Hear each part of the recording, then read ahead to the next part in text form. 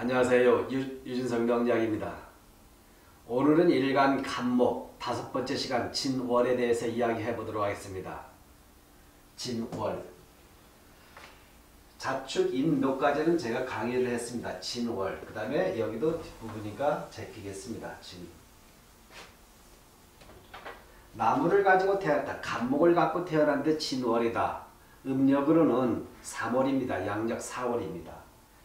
양력 4월은 부직갱이를 심어도 꽃이 핀다 했습니다. 뭘 갖다 심어도 자란다. 그만큼 비옥한 땅이다 했습니다. 진해는 적당한 수분이 가지고 있기 때문에 을목도 진월을 가장 반긴다, 좋아한다. 을이 진월에 있으면 아무리 세찬 비바람이 몰아치고 악재가 있어도 견뎌냅니다. 간목도 진월에 있으면은 굉장히 튼실하다 이렇게 볼 수 있습니다. 자, 간목진 얘는 뭐냐면 편제에 해당이 됩니다. 편제. 아버지에 해당이 되겠죠. 편제. 지장간에서는 을개무가 있습니다. 지장간에서는 수의 창고다. 자 여기는 뭐냐 사주에서 태어난 달에 친월인데 이걸 잘 참고해 보시라. 분명히 편제라는 것은 얘 힘을 잃었다는 거죠. 일간이 힘을 잃었는데 갑이 진월에 태어났을 때는 신령했지만 분명히 신령했지만 사주에서 풀이할 때는 이때는 신강하로 보는 게 좋습니다. 신강. 얘는 막강한 힘을 갖고 있다 이렇게 보겠죠. 간목이 진월에 뿌리를 갖고 있다는 것은 아무리 세찬 비바람에 몰아쳐도 이 간목은 근본적으로 뿌리를 가지고 있다. 뿌리 깊은 나무가 됐기 때문에 신령했지만 실제 사주에서는 신강적으로 등령한 것처럼 이렇게 풀이를 해야 정확하다 이렇게 설명할 수가 있습니다. 편제니까 아버지겠죠. 자 그러면 이 자리에 올라갈 수 있는 것은 무엇이냐 이 자리에 양간이겠죠. 갑병무경임이겠죠. 갑, 병, 무, 임경 경인이죠 경인. 자 이해가 되겠죠. 갑진, 병진, 무진, 경진, 임진이 들겠죠. 그러면 이 나무가 간목인데 진월에 태어났으면은 이 자리에 어떤 게 들어왔으면 가장 좋겠느냐? 만약에 병이 들어왔다 병진이 들어왔다 그러면 뭐냐? 병진월이라면 이 아이는 창의성이 있다 이렇게 보겠죠. 창의성. 창의성 기술성이 있고 예술성이 있다 이렇게 보겠죠 그러니까 이 아이는 굉장히 활발하고 밝다 이렇게 봅니다 간목이 진월인데 여기에 태양이 있다는 거죠 병화가 있다는 거죠 병화 병화가 있으면 얘는 간목은 힘을 받고 태양의 힘을 받고 엄청난 자람을 갖고 들어온다. 그러니까 뭐냐? 싱싱하다 이렇게 보겠죠. 건강하고 싱싱하다 이렇게 보겠죠. 그런데 만약에 예를 들면 무진이나 경과 임이 들어왔다. 예를 들면 임진이 됐다 해보자. 임진. 임진이 만약에 됐다. 임진이면 어머니죠. 어머니 임진. 임진이 수의 곧장을 가지고 있다. 이렇게 봤다면은 일찍 어머니는 뭐냐? 어머니의 건강 문제. 모친의 건강 문제가 조금 좋지가 않다 이렇게 봐야겠죠. 경제를 놓고 보자. 이때는 것은 수의 공급이 너무 많기 때문에 얘는 반드시 태어난 시에서나 운에서 화기가 들어와줘야 좀 좋다 이렇게 볼 수 있습니다. 경진을 놓고 보자. 경진 같은 경우는 금의 기운이 있죠. 금 자체가. 자, 그런데 이 간목 자체는 뭐냐? 간목은 반드시 필요한 것이 정화와 경금이 필요하다 했습니다. 얘를 나무를 쪼개서 도끼로 쪼개서 불로 떼줬을 때 가장 잘 자란다. 그런데 이때 갑진은 중요한 게 있다. 갑진은 이때는 얘는 사목이 아니고 사목 뗄감으로 쓸 수 있는 것이 아니고 얘는 생목이다 그랬습니다. 생목. 성자라는 나무기 때문에 얘를 예를 들면 얘 정화가 들어와서 경금이 들어와서 얘를 건드려봤자 이것은 오히려 부작용이다. 별 볼 일이 없다. 얘가 아무리 와서 얘를 두드려 빤다 해도 얘는 서로가 잡음만 일어나지 통제 규제를 준다고 해서 이게 크게 힘 작용을 못한다. 그러니까 차라리 진월에 태어났으면 얘가 좋다 이걸 이야기해주죠. 병원이 좋다. 이렇게 되면 나중에 커가면서 자라면서 사오미 신유술로 가겠죠. 신유술. 순행으로 갔을 때 역행으로 갔을 때 순행으로 갔을 때 갑지담자 사대운 오미 신유술이니까 엄청나게 잘 무럭무럭 건강하게 자라고 쓰임 용도가 좋고 밝고 건강하겠죠. 성격이 밝고 건강하면서 이때 큰 흐름을 한번 잡을 것이다 이렇게 보겠죠. 왜냐하면 가을철은 얘가 땔감으로 성장이 돼서 잘 열매를 맺을 수도 있고 땔감용으로 쓰일 수 있기 때문에 그런데 만약에 이제 역행으로 간다면은 묘가 들어겠죠. 일이 있겠죠. 축이 있겠죠. 자가축이 있겠죠. 이렇게 되면은 목의 기운 자체 수의 기운으로 가니까 지난번으로 얘기했지만 이런 때는 뭐냐 오히려 약간 성향 자체가 그 밝은 기운 힘이 있는 아이가 좀 내성적이고 조용하게 간다 이렇게 보겠죠 어린 아이들 같으면 그러니까 간목 자체는 생목이기 때문에 진월은 생목이기 때문에 너희들 도끼가 지금 필요치가 않다.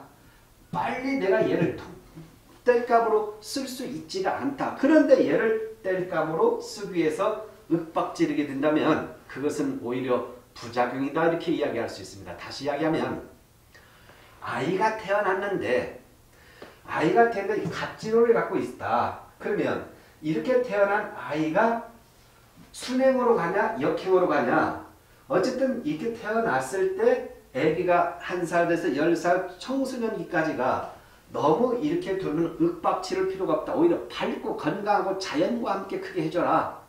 그럴 때 이렇게 순행하게 된다면 큰 인물이 될 수 있고 경제적으로 감목은 전혀 어려움이 없는 아이다. 그런데 얘를 윽박지르고 공부를 가지고 안 한다 뭐 한다 통제 규제를 심하게 했을 때는 해놓고 엄마는 소갈이 가슴말이 엄마만 가슴에 멍든다 이렇게 볼 수 있겠죠. 그래서 이것을 잘 참고해 보시라. 간목은 반드시 진월이라면 생목이라는 것을 잘 참고해서 얘는 그래서 병화가 생명이다 이렇게 봐야겠죠. 얘가 유무가 있어줘야 돼요.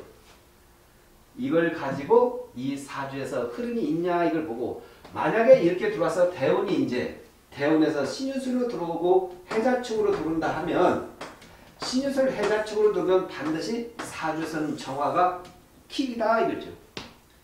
열시라는 것이죠. 얘가 여기에서는 얘를 쳐주고 도움을 줘준다. 어차피 신유술 내서 경금 자체가 들어오고 정화가 들어오면서 얘를 토끼질로 서서히 뗄감용으로 쓸 수 있기 때문에 어느 곳에 가도 물을 익었다, 성장이 됐다, 익었다 이렇게 설명할 수가 있습니다. 자, 간목이 진월에 태어났을 때, 간목이 진월에 태어났을 때는 첫 번째 아이들이라면 뭐냐? 무조건 밖에서 왕성하게 뛰어놀고 오히려 길을 세워주라. 만약에 역행하게 된다 해도 이 간목의 진월이라면 성목, 아니 생목, 자라는 나무니까 이걸 가지고 굳이 가지치기 할 필요는 없다 이걸 이야기해 줍니다. 여기서는 가지치기 하면은 오히려 큰 힘이 부작용만 일어나 누가 부작용이 일어나 어머니가 부작용이 있다. 이 아이의 엄마가 수에 고니까 엄마만 먹는다 이걸 이야기해 주겠죠. 자, 다시 한번 보자. 감목의 진월이라면 물을 머금고 있는 나무다. 물을 머금고 있다면 즐기고 굉장히 이 감목장의 생명력이 좋다는 걸 이야기합니다. 그러면 경금이 와서 이 나무를 나무를 물을 많이 머금고 있는 나무를 토끼를 갖고 토끼질을 하게 된다면 얘가 부러질 확률이 높아요. 왜냐하면 물을 머금고 있는 즐기고 단단한 즐기기 때문에 오히려 토끼 날이 나간다 이러기 때문에 이때는 이 경금 자체가 중요치가 않다. 그래서 조금 전에 이렇게 설명하는 겁니다. 오히려 경금보다는 병화가 중요하다 이걸 보겠죠. 자 사주에서 갑진월에 딱 태어났다. 갑목이 진월에 태어나 갑진 이렇게 태어났을 때 사주에서 어린 아이라면 생명력은 뭐냐 병화가 있냐 없냐를 보고 장명할 때도 반드시 병화가 생명이겠죠. 가장 포인트겠죠.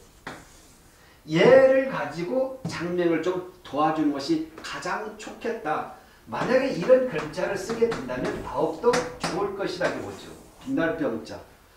병화가 잡아주면서도 정화가 노후까지 잡아주니까 이름 병자가 좀 글씨는 그렇지만 이 태생에게는 굉장히 좋은 글자다. 이런 걸 갖고 보완을 해주고 보강을 해줬을 때 그 이름의 기능 능력은 굉장히 극대화된다 이렇게 설명할 수가 있습니다. 자 그러면 얘는 간목이 만약에 진월인데 성장을 했다. 사오미 가고 사오미 때는 여름철이니까 간목 자체가 이 대원에서는 왕성하게 활동하고 있는 걸 보여주겠죠. 왕성하게.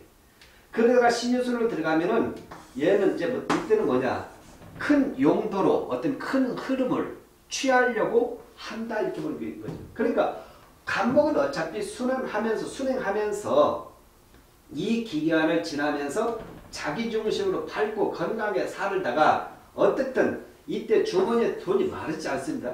이 정도 값진이라면 누구를 막론하고 주머니에 돈이 마르지 않는다. 특히 부동산에 대한 글자를 갖고 있다. 타고난 것이 부동산에 대한 기운을 갖고 있다. 문서기운. 근데 이렇게 타고났다는 것은 뭐냐면 갑지월이 있다는 것은 부동산 기운이라는 것은 중년으로 갔을 때 자기 소유의 집을 가질 수 있는 확률 자체가 거의 90% 이렇게 저는 보는 것이죠. 이런 기운을 갖고 있는 사람들이 부동산 소유가 없는 사람들은 드물다. 다시 그렇게 이야기를 해볼 수가 있다. 사오미, 신유술, 해자축으로 순행을 하는 경우하고 역행을 하는 경우 거기에서 이 간목 자체는 그래도 중요한 것은 뭐냐? 화기다 이걸 이야기죠. 화기. 근데 화기인데 만약에 대운에서 이렇게 해자축으로 갈 때는 해자축으로 갈 때는 대운이 역행해서 정화의 유무를 잘 봐줘라. 정화가 힘이 있게 들어오냐 힘이 없게 들어오느냐 여기에서도 뭐냐 사오미가 들어올 때 신유술 해자축으로 들어올 때 당연히 여기에서도 병화 정화가 생명이다 이렇게 보겠죠. 얘를 가지고 일단 간목 자체는 성장을 시켜주거나 아니면 바삭바삭 좀 얘를 좀 말려가지고 통나무를 말려서 뗄감으로 쓰임을 갖게 했을 때 간목은 가장 크게 성장하고 간목은 가장 크게 쓰임을 받게 된다 이게 설명할 수가 있습니다. 쓰임을 받을 수 있다는 것은 이 간목을 쓴 삶에서 가장 화려한 삶을 산다. 가장 괜찮은 성공을 거둬들인다. 훨훨 타올라서 자기 목적을 이룰 수 있기 때문에 그런 면을 잘 참고해서 풀어보면 괜찮습니다. 그래서 간목이 진월에 태어났다면 일단 뭐냐 신령했다 이렇게 학에서는 학에서는 신령했죠 힘이 없죠 신령 토니가 편제니까 그런데 술로서 풀 때는 항상 술로 풀 때는 그래서 직접 상담하게 될 때는 얘 때는 분명했다 힘이 있다 이렇게 참고하실 필요가 있습니다 그리고 태어난 시 간목에서 태어난 시는 갑진월에 있다면 태어난 시가 화기가 있다면 그것은 금상첨화다 이렇게 보겠죠. 갑이 만약에 되면은 오를 가지고 있거나 태어난 시가 오거나 아니면 태어난 기운에 시간에서 시간에서 만약에 병화를 갖고 있는 경우 갑이 병화를 진월에 병화를 갖고 있는 경우 이런 경우는 삶 자체 직장이나 이런 게 보편적으로 참 괜찮습니다. 그리고 힘을 가지고 있을 때는 더욱더 병인을 갖고 있거나 만약에 오를 갖고 있거나 살을 갖고 있는 이런 이런 기운을 갖고 있을 때는 이런 태생들은 시에서 화기를 갖고 있는 사람들은 노후의 삶도 굉장히 편안하다. 그러니까 평생 살아가면서 큰 걱정이 없고 삶이 잘 풀리고 주변성이 좋고 물질적으로 어려움이 없다. 이렇게 설명할 수가 있습니다.